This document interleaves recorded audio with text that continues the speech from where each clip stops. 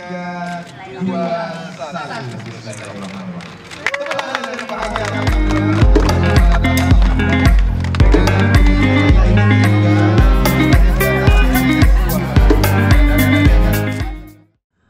Wakil Ketua Tim Penggerak PKK Aceh Dia RT Dewati membuka kontes buah se-Aceh tahun 2018 yang digelar di Taman Sultana Safiatuddin Sabtu 13 Oktober 2018.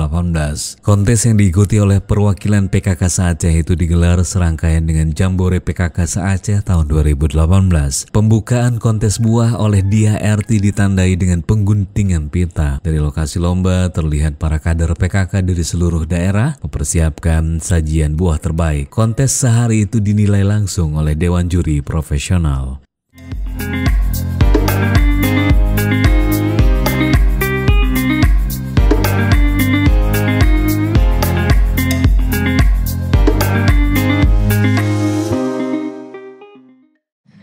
Mengikuti acara ini dari 23 kota kabupaten yang kita mau menggali buah-buah yang lokal ya, yang lokal kemudian yang memang belum banyak dikonsumsi dan banyak juga buah-buah kita yang sudah langka. Nah, ini mau kita angkat kembali untuk supaya bisa kita budidayakan.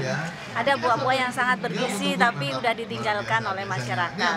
Uh, tidak hanya itu saja, kita bahkan ini beberapa dari peserta juga sudah sampai pengolahannya. buah-buah tersebut bisa diolah sehingga tidak hanya dikonsumsi saat itu saja tetapi bisa digunakan sebagai cemilan dan lain sebagainya dalam bentuk lain olahan-olahan buah.